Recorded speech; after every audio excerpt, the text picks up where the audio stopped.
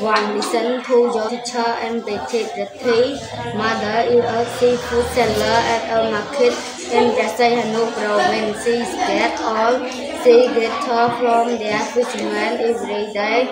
She sells fish, lobster, sweet grape, october, shrimp, and other sea grater.